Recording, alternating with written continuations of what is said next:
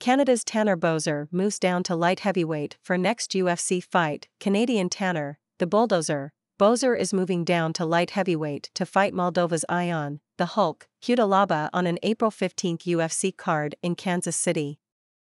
The 31 year old from Bonnyville, Alta, Canadian Tanner, the bulldozer, Boser is moving down to light heavyweight to fight Moldova's Ion, the Hulk, Cutelaba on an April 15 UFC card in Kansas City. The 31 year old from Bonnyville, Alta, who now makes his home in Edmonton, fought as a heavyweight in all eight of his previous UFC bouts. The light heavyweight limit for non title fights is 206 pounds, compared to 266 for heavyweight.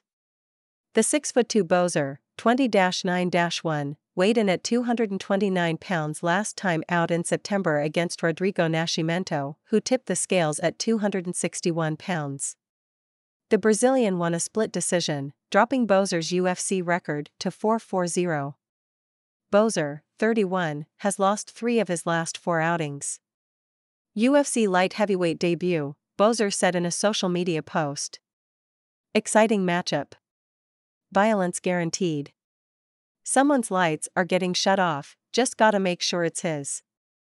Cutelaba, 16 9 1 with one no decision, is 5-8-1 in the UFC and has won just one of his last seven bouts, 1-5-1.